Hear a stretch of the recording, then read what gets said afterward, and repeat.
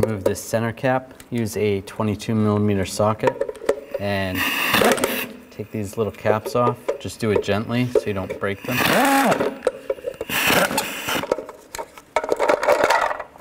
Take that off. Now use the same socket, take the lug nuts off.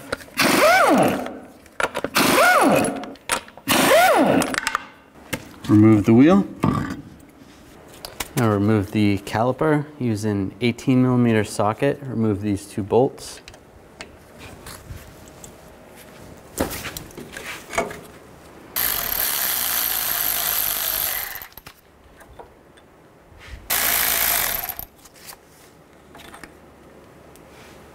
Now slide the caliper off. If you need to, use a screwdriver. Just pry it out. You can always compress the piston a little bit. It's easier to come off. Slide that off. Use a caliper hanger and just find a place to hang it from so that there's no tension on the brake hose. Take the brake pads off, just slide them out. Take these two caliper bracket bolts out, use a 21 millimeter socket.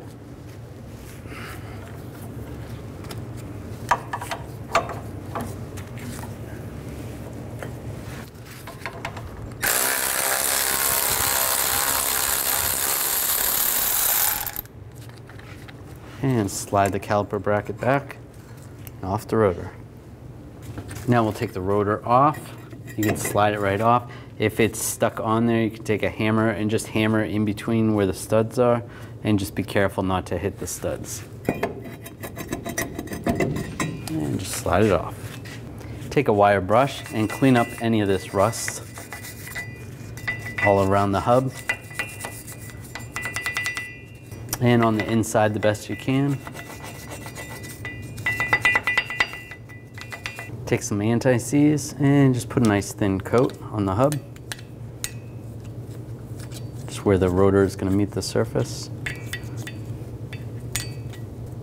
That's good. Take the rotor. First, put the rotor on backwards. Take some brake parts cleaner. Clean the back side of the rotor. Use a rag, wipe it off. Now flip the rotor around.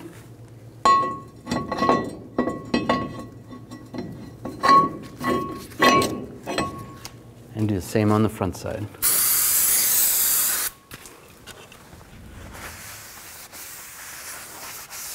To make it a little easier when installing, you can take one of the lug nuts and just put it on backwards.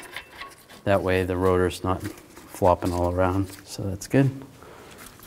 Now we're gonna clean up the brake caliper bracket. Just take a straight blade screwdriver, just get underneath this pad slide. Take a wire brush, clean up some of this rust. If it's really bad, you can use a die grinder. Just be careful, don't take off too much material. Then when that's cleaned up, just take some brake caliper grease and a nice thin coat. Find the right brake caliper pad slide and slide it in position.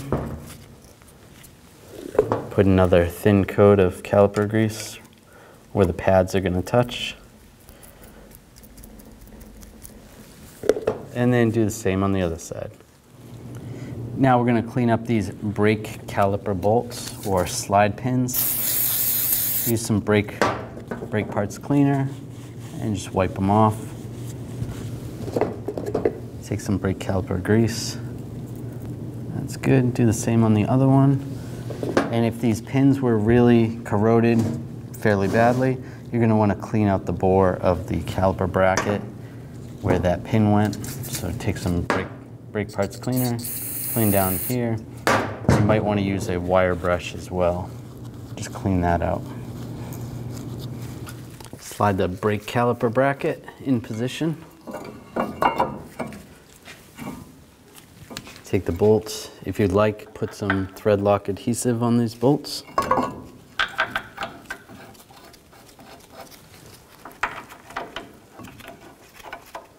Now torque these bolts to 221 foot-pounds.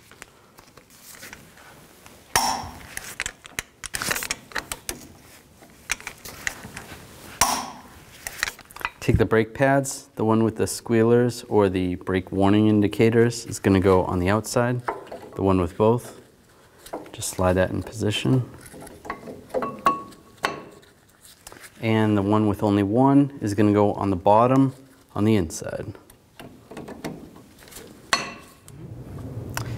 We're going to compress the caliper, use one of the old brake pads, and then use a special tool to compress the caliper. As you push the pistons back into the caliper, it's pushing the brake fluid through the hoses, through the brake lines, and back up into the master cylinder reservoir. So go just nice and slow. Don't do this fast. And it's all the way down. Remove the tool, remove the brake pad. Take the caliper, Make sure the hose is not twisted and slide it over the brake pads.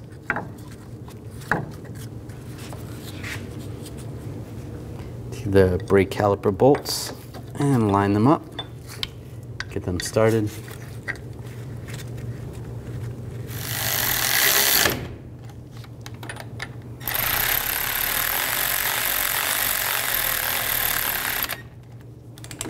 Torque these bolts to 80 foot-pounds.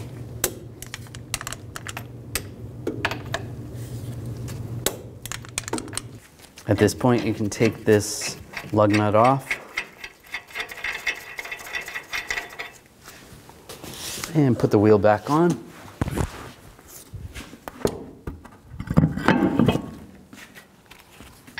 Put the lug nuts on.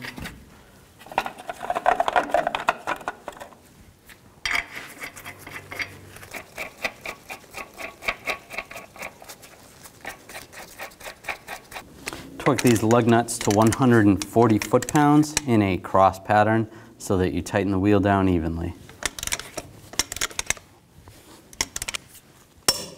And just go around again, double check.